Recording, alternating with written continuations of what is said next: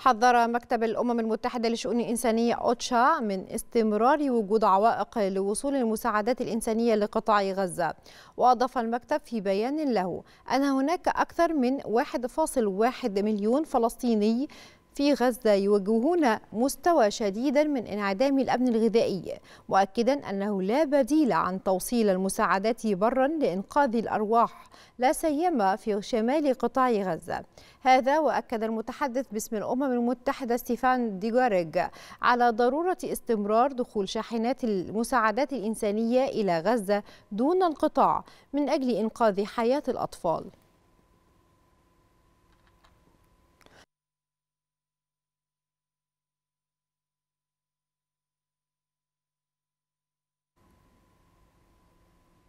أفادت وكالة الأنباء الفلسطينية باعتقال قوات الاحتلال الإسرائيلي 25 فلسطينيا على الأقل من مناطق متفرقة بالضفة الغربية المحتلة منذ مساء أمس. وأوضحت هيئة شؤون الأسرى والمحررين ونادي الأسير أن عمليات الاعتقال تركزت في محافظة الخليل فيما توزعت بقية الاعتقالات على محافظات رام الله كرم وجنين وسلفيت والقدس.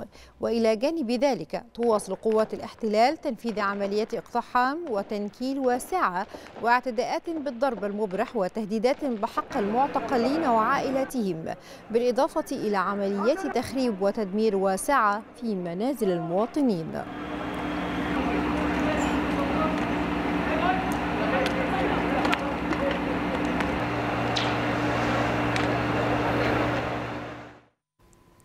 قالت أجهزة الطوارئ الإسرائيلية أن أو إن مسلحا فتح النار على سيارات في الضفة الغربية المحتلة مما أدى إلى إصابة ثلاثة أشخاص على الأقل.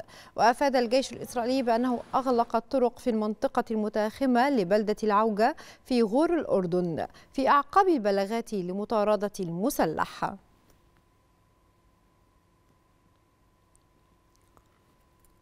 أفادت هيئة البث الإسرائيلية أن أهالي الجنود المحتجزين يجتمعون اليوم لأول مرة مع رئيس الوزراء بنيامين نتنياهو.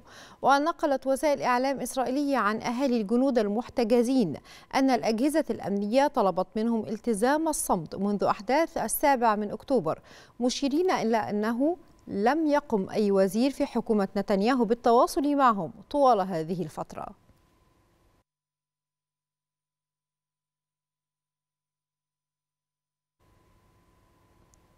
قررت مسؤولة في وزارة الخارجية الأمريكية تعمل في مجال حقوق الإنسان في الشرق الأوسط التقدم باستقالتها احتجاجا على دعم الولايات المتحدة لإسرائيل في حربها على قطاع غزة.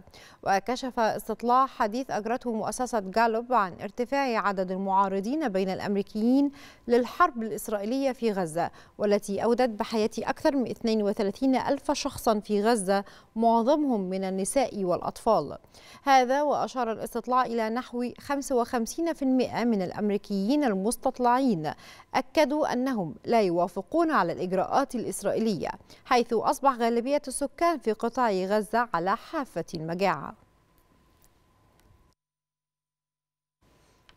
أفادت وكالة رويترز بمقتل تسعة أشخاص وإصابة عدد آخر إثر غارات إسرائيلية.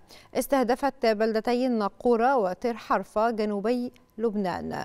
وأوضحت الوكالة اللبنانية للإعلام أن الغارات على بلدة الناقورة أدت إلى أضرار جسيمة في الممتلكات والبنية التحتية فيما أسفرت الغارات عن طير حرفة عن تدمير عدد من المنازل المحيطة وإحراق عدد من السيارات مشيرة إلى نقل عدد من الجرحى إلى مستشفيات مدينة صور.